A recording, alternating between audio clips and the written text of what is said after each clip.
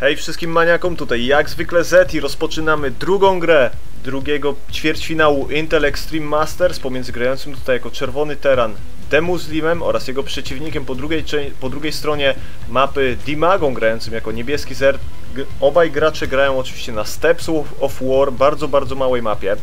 Więc zobaczymy tutaj jak bardzo, jak ta gra się tutaj rozwinie, ponieważ e, oczywiście na tak bardzo małej mapie obaj gracze mogą zdecydować się na jakiś tutaj rodzaj cheesa.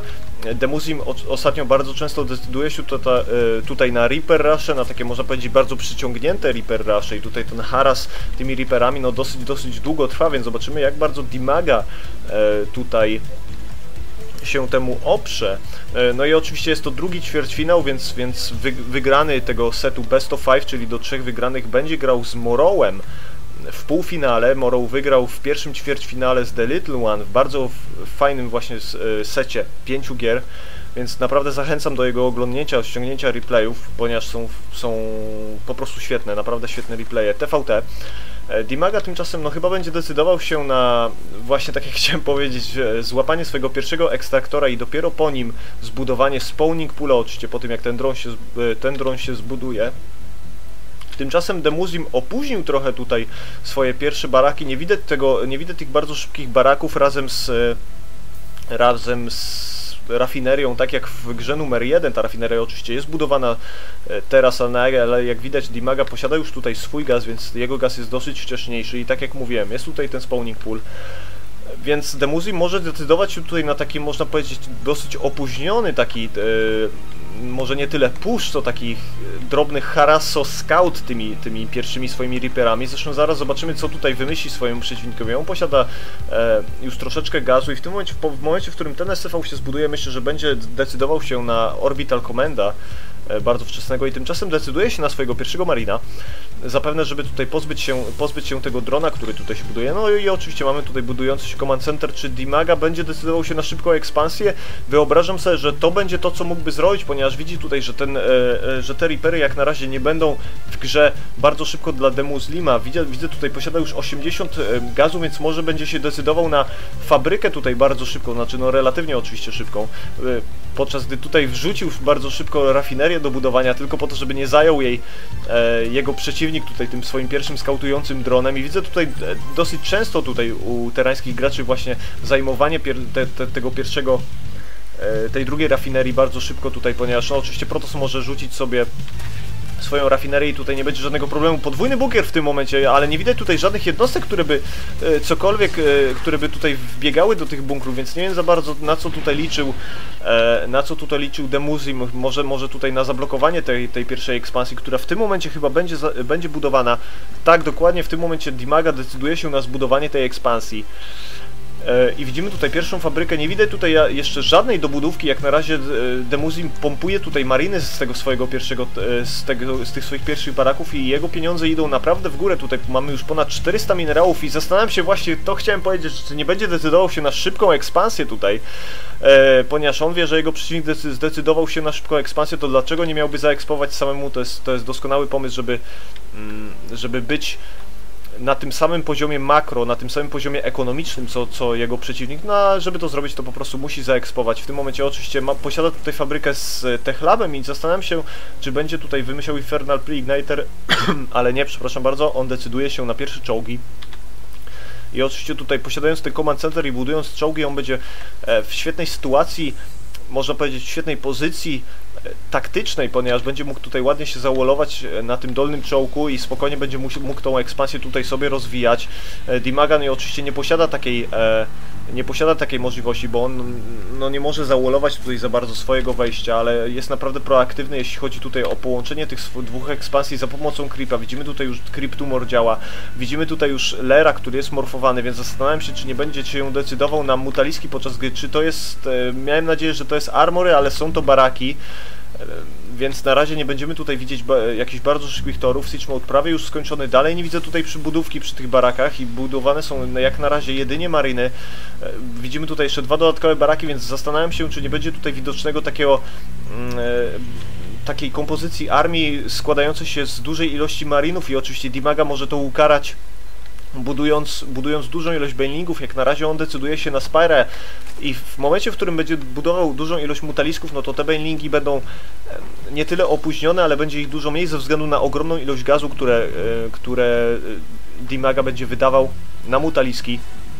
Siege Mode jest już skończony, więc spokojnie Demuslim jest w stanie tutaj rozłożyć ten swój pierwszy czołg.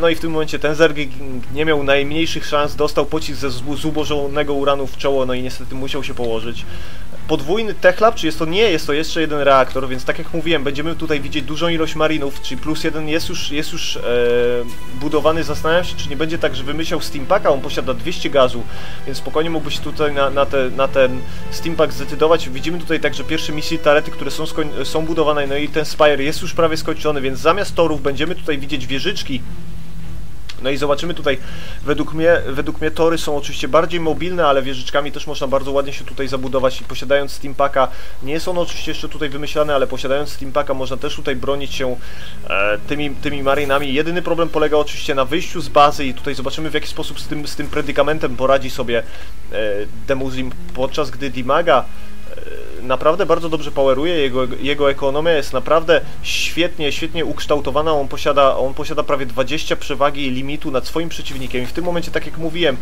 e, Demuzim będzie starał się tutaj blokować tego czołka tutaj niskiego, może nawet tutaj w tym momencie będzie starał się blokować go mniej więcej tak od tej strony, ponieważ tutaj będzie musiał uważać na te skałki i na ich zniszczenie. Trzy czołgi w tym momencie transferuje swoje SCV i zastanawiam się, czy nie będzie tutaj widoczny timing push, tak jak mówiłem, Steampack jest już wymyślany i spokojnie będzie mógł tutaj e, mógł tutaj bronić się tymi, tymi, tym, tą dużą ilością marinów i tymi wieżyczkami przeciwko mutaliskom. I zaraz zobaczymy właśnie w jaki sposób tutaj sobie poradzi z tymi mutaliskami, których tutaj już pierwsza duża ilość jest, ich dokładnie 8 atakuje.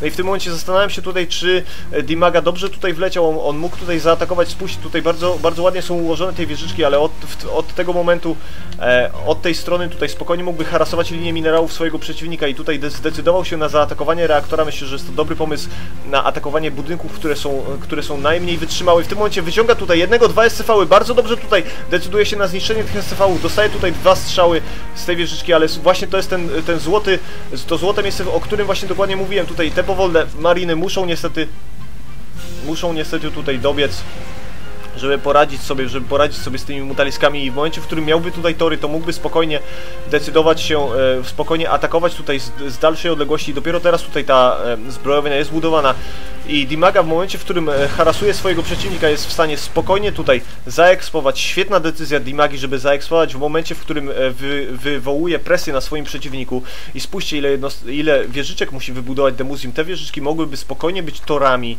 i w momencie, w którym by miał takie 2-3 tory, e, no to mógłby po pierwsze bronić się przed tym harasem, po drugie spokojnie tutaj zaatakować i miałby solidną obronę, solidną obronę w ataku e, przeciwko tym mutaliskom, ale spójrzcie, jest tutaj e, już e, chyba ze 12 mutalisków i to jest naprawdę bardzo duża siła. Mutaliski zadają ogromne ilości obrażeń, one są bardzo dobre do harasu i w tym momencie wyciąga tutaj ten reaktor. Świetna decyzja, żeby ten reaktor zaatakować. Musi tutaj wycofać się tymi barkami, spokojnie tutaj będzie w stanie je wycofać i, i myślę, że tutaj ten techlab także mógłby zostać zniszczony. Czy będzie decydował się na atak? Tak, ale tutaj ten techlab no i przeżyje tutaj, żeby zobaczyć następny dzień, chociaż może się okazać, że nie. Steam w tym momencie nie widzę tutaj żadnych, jest tutaj dopiero jeden, e, dwa mediwaki, przepraszam bardzo, jeden został zasłonięty przez te baraki.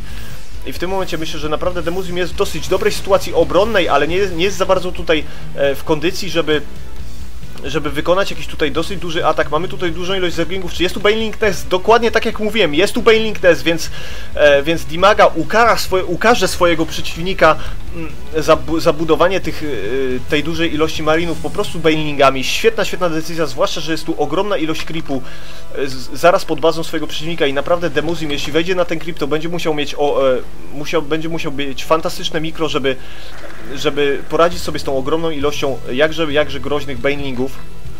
I w tym momencie e, bardzo dobrze tutaj Demusim decyduje się na skana, będzie niszczył tutaj te kryptumory, powinien zniszczyć ten drugi, ale nie powinien tutaj za bardzo wysuwać tych czołgów do przodu. Świetnie tutaj decyduje się na wysunięcie, na, nawet na początek trzech czołgów. Musi tutaj oczywiście Dimaga uważać na swoje mutaliski, żeby nie stracić ich tutaj zbyt głupio. Oczywiście tutaj traci naprawdę ogromne obrażenia zadają. E, naprawdę fantastyczne obrażenia zadają te mariny, kiedy są zestimowane. I mamy tutaj już pierwszego tora, który świetnie wystrzelił. Spójrzcie, jak naprawdę słabe w tym momencie zrobiły się te mutaliski. O, Dimaga chce, żeby te mutaliski leciały w takiej formacji, a nie tak bardzo zlepione ze sobą, ponieważ tory zadają porażające obrażenia E, mutaliską, jeśli one są właśnie w takiej, w takiej tej i świetna, świetna tutaj kontrola jednostek, świetny tutaj miks tych jednostek i spójrzcie, jak będzie musiał chyba wycofać te wszystkie swoje mariny, żeby uratować się przed tymi bellingami. Ogromne obrażenia! Cóż za fantastyczne obrażenia! Te czołgi nie mają absolutnie nic do powiedzenia w tej walce. Oczywiście zabiły tutaj większą ilość, większą ilość tych bellingów, ale spójrzcie, mamy tutaj jeszcze mutaliski, te dwa czołgi padną, padną w, w zatrważającym tempie od tych mutalisków i świetnie tutaj obronił się Dimaga, co za świetne tutaj rozłożenie tych jednostek w taki do, dosyć duży łuk. I myślę, że tutaj Demuzim jest w naprawdę ciężkiej sytuacji. On naprawdę, on posiada tutaj jeszcze jaki, jakąś, jakąś prezencję na, obronną na tej mapie, ale musi naprawdę zrobić cokolwiek, żeby Dimaga nie czuł się tak pewnie. Spójrzcie, Dimaga posiada świetną kontrolę nad mapą. On myślę, że on w tym momencie byłby w stanie zaekspować jeszcze raz i nie byłoby z najmniejszego problemu z, z obroną ekspansji, na przykład znajdującą się tutaj lub tutaj. Właśnie o tym mówię. Dimaga świetnie tutaj ekspuje w tym kierunku. On chce zająć, on chce zająć połowę swojej mapy, ale Demuzim Demuzim w tym momencie zrobi tutaj dropa i ten drop jest naprawdę świetny. Gdzie są mutaliski e, Dimagi? Dopiero teraz będą starały się tutaj ratować tą ekspansję, no ale niestety nie była ona w stanie powstrzymać e, tak dużej ilości marinów. No niestety te mariny w tym momencie umrą, ponieważ Dimaga, e, Demuzim nie jest w stanie wrzucić ich do tego Mediwaka i uciec. I w tym momencie Dimaga decyduje się tutaj jeszcze na atak większą ilością mutalisków w mainie swojego przeciwnika. Świetna, świetna decyzja. Nie ma tutaj, spójrzcie, już żadnego SCV, który byłby w stanie naprawiać. Tutaj jest tylko kilka SCV-ów. I w tym momencie myślę, że jest to naprawdę świetna decyzja tutaj, żeby, e, żeby Demuslim, żeby Dimaga, przepraszam bardzo, atakował, ale spójrzcie, ten tor zadaje ogromne ilości obrażeń. Został tutaj tylko jeden Mutalisk. Demuzim świetnie tutaj poradził sobie z obroną tego i naprawdę, e, wow, Dimaga stracił ogromną ilość mutalisków. E, posiadał tutaj oczywiście jeszcze większą ilość, jeszcze większą ilość e, banelingów i zobaczymy tutaj, czy obroni się przed drugim puszem. Teraz decyduje się na switcha w Roache. Świetna decyzja. Roache są doskonałe na, doskonałe na tory. One zadają ogromne ilości obrażeń. Zadają je oczywiście dosyć wolno, ale taka salwa, e, salwa z e, Roachy w kierunku tora powoduje, że na przykład są w stanie e, zginąć jednym, jednym lub dwoma strzałami i naprawdę nie ma tutaj, e, prawie chyba nie ma tutaj ani jednego SCV, który by naprawiał te tory.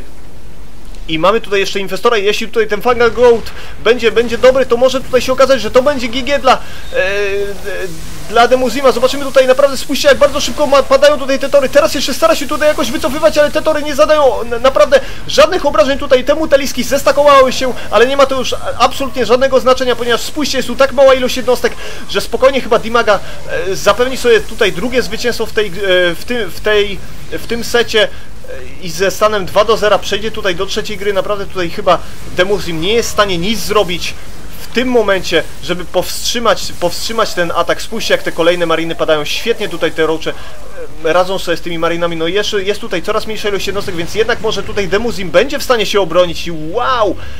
jednak tutaj obronił się jeszcze przez chwilę, ale, ale coraz większa ilość roaczy e, jest wysyłana w stronę jego bazy. Te roaczy mają upgrade na, na, na prędkość i Machina wojenna Dimagi jest, jest, jest w świetnej kondycji.